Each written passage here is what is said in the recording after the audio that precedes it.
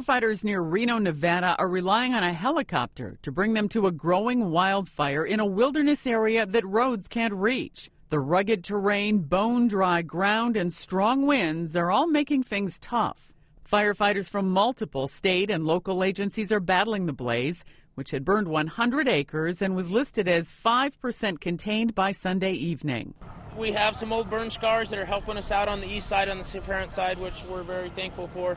Uh, but the, the, terrain and the veg in Hunter Canyon specifically is, is, steep and thick. Officials throughout the West have been pointing out that an especially dangerous fire season is just beginning. Fire season's upon us, so to be responsible out there, it only takes one one little light, and we're off to the races. The fire is burning trees in a national forest area. The cause is under investigation. Sandy Kozel, The Associated Press.